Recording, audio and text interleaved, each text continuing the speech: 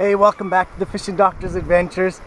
I'm on the river today, and I just have to tell you, I'm stoked because I just came out, left home at like 5 in the morning, got out here in the dark, fished all day till noon, and I was going home, and I saw a little log jam, and I thought, oh, I'll just drop my jig in there. First drop, I saw a salmon go after it. I dropped it back in there, bam! Guess what? Hatchery coho. Look at that. Uh, but I thought maybe there's another one there. So I went over and I dropped the jig in again. And look at this one. I caught another hatchery coho. So let's get back in there and see if there's any more because I thought I saw two hit it.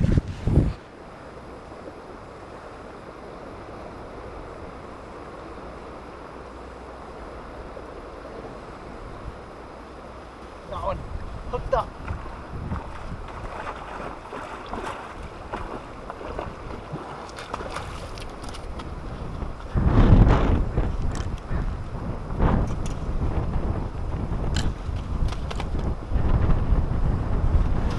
That on the jig. That was like six casts in the spot. Another hatchery coho. Awesome. This is like the fastest limit ever. If I get one more, I'll have four in under 10 minutes. Look at that beautiful coho on that jink. That's from Bent Rods. Nice fuzzy jig. Here's those three beautiful coho. That's what nailed them. One of the bent rods jigged. Actually, the first two were just caught on an orange jig head with a orange uh, a orange plastic. This is a bent rods jig, and I put on a pink grub on it. And three beautiful hatchery coho. Hatchery coho have a healed scar where the adipose fin was. You have to release the wild ones, but uh, come get them.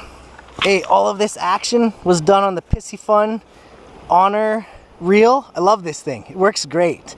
For the price, you can't beat it, guys. I'll put a link in the description below. Check out this reel. I can't believe it, guys. Did that really happen? Did I just catch three coho in less than 10 minutes? And I've been fishing for days and days and days and have not caught more than one? This is insane. I'm so happy. Anyways, I got a lot of tips from Fishing with Rod. Go check out his channel. I'll put a link in the description below and subscribe to him. The guy makes a lot of informative videos and he's very helpful, takes time with all of his viewers. So, hey, don't forget to subscribe to my channel as well and help me out. And maybe I'll spend more time out on this river as I'm figuring it out day by day a little bit. You know, I'm not a river fisherman. You probably see I don't have a lot of river uh, fishing videos. But today, I feel like I made a step in the right direction. on the jig, twitching the jigs for coho. Check out these three beautiful fish. Give me a like, share this video, come out fishing and have a great time this fall. Thanks for watching guys.